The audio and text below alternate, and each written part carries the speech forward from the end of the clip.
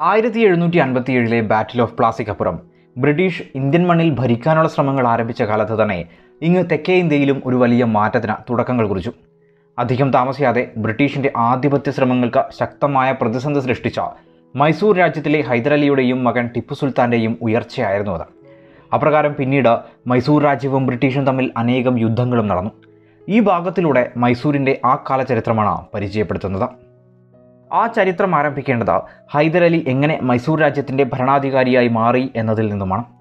ചരിത്രപ്രകാരം മൈസൂർ എന്നത് വിജയനഗര സാമ്രാജ്യത്തിന്റെ ഒരു ഭാഗമായിരുന്നു. വിജയനഗര സാമ്രാജ്യം അതപ്പതിച്ചപ്പോൾ മൈസൂർ പ്രദേശം വോഡയാർ രാജവംശത്തിന് കീഴിൽ ഒരു സ്വതന്ത്ര രാജ്യമായി നിലകൊണ്ടു.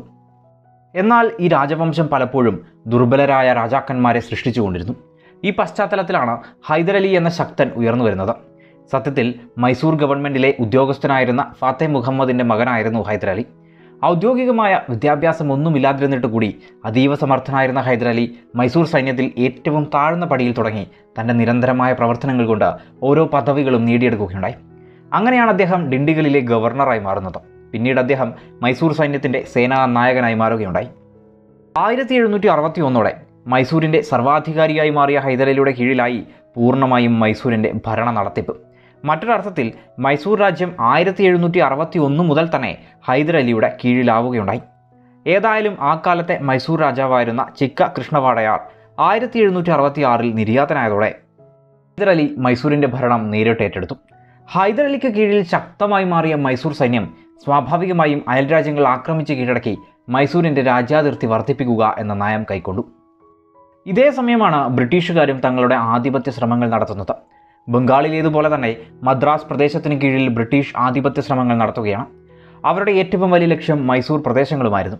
ഈ മേഖലകളിൽ ഉണ്ടായിരുന്ന ഏറ്റവും ലാഭകരമായ കച്ചവടമൊക്കെയും മൈസൂരിന് കീഴിലായിരുന്നതുകൊണ്ട് തന്നെ ബ്രിട്ടീഷിന് ഈ പ്രദേശങ്ങളുടെ മേൽ ആധിപത്യം സ്ഥാപിക്കുക എന്നത് നിർണായകമായിരുന്നു.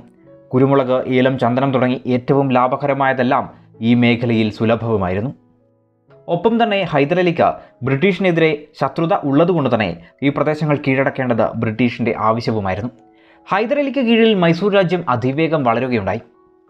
കടപ്പയിലെ നവാബിനെ തോൽപ്പിച്ച് സേലം ജില്ലാ ഭാഗങ്ങൾ കീഴടക്കിക്കൊണ്ട് ഹൈദരലി തന്റെ രാജ്യാതിർത്തി വർദ്ധിപ്പിക്കുകയുണ്ടായി. തുടർന്ന് ഇക്കേരി നായക്കന്മാരുടെ അധീനതയിലായിരുന്ന ബദനൂർ പ്രദേശങ്ങളും ഹൈദരലി പിടിച്ചെടുത്തു. സ്വാഭാവികമായും നമ്മുടെ മലബാറും കോയമ്പത്തൂരും വടക്ക കൃഷ്ണ നദി വരെയുള്ള പ്രദേശങ്ങളൊക്കെയും വളരെ വേഗം ഹൈദരലിക്ക് അധീനതയിലാവുന്ന അവസ്ഥയുണ്ടായി. ഇത്തരത്തിൽ ഹൈദരലി ഉയർന്നത് ഈ മേഖലയിൽ ഒരു വലിയ പോരാട്ടത്തിന് തന്നെ തുടക്കം കുറിച്ചെന്ന് പറയാം. മൈസൂർ ഹൈദരാബാദ് മഹാരാഷ്ട്ര എന്നീ മൂന്ന് ശക്തികൾ തമ്മിലുള്ള ത്രികോണ മത്സരമായിരുന്നു അത്. അതിനിടയിൽ ആവശ്യാനുസരണം ബ്രിട്ടീഷുകാർ ഏവർക്കും സഹായവും എതിരാളിയും ഒക്കെയായി നിലകൊള്ളുകയുണ്ടായി. കർണാട്ടിക്കിലെ നവാബുമായി ഈ സമയം ഹൈദർക്ക് ചില അതിർത്തി തർക്കങ്ങളുമുണ്ടായിരുന്നു. മദ്രാസിലെ ബ്രിട്ടീഷുകാർ കർണാട്ടിക് നവാബിനെ പിന്തുണച്ചിരുന്ന സമയമായതുകൊണ്ട് തന്നെ ബ്രിട്ടീഷുകാരുമായി ഹൈദരലിയും ആദ്യമേ തന്നെ ശത്രുതയിൽ നിൽക്കേണ്ടി വന്നു. ഇത്തരത്തിൽ ഈ മേഖലയിൽ പല രീതിയിൽ ശത്രുതയും സഖ്യവുമൊക്കെ രൂപം കൊള്ളുകയും പലതവണ ആക്രമണങ്ങൾ ഉണ്ടാവുകയും ചെയ്തു. അപ്രകാരം ഈ മേഖലകൾ കലുഷിതമായി നിൽക്കുന്ന സമയത്ത് ഹൈദരാലി ഹൈദരാബാദ് നിസാവുമായി സഖ്യത്തിലേർപ്പെടുകയും കർണാടകയിലെ നവാബായ മുഹമ്മദ് അലിക്കെതിരെ ഒരു സംയുക്ത ആക്രമണം നടത്തുകയുമുണ്ടായി. ഇതോടുകൂടി ഇംഗ്ലീഷുകാർ തങ്ങളുടെ സുഹൃത്തായ നവാബിനെ സഹായിക്കാൻ രംഗത്തെത്തി. അങ്ങനെ വളരെ പ്രസിദ്ധമായ ഒന്നാം മൈസൂർ യുദ്ധം പൊട്ടിപ്പുറപ്പെടുകയാണ്. മൈസൂരും ബ്രിട്ടീഷുകാരും തമ്മിലുണ്ടായ ഒന്നാം മൈസൂർ യുദ്ധത്തെക്കുറിച്ചും ബാക്കിയുള്ള യുദ്ധങ്ങളെക്കുറിച്ചും അടുത്ത ഭാഗത്തിലൂടെ പരിചയപ്പെടുത്തുന്നതാണ്.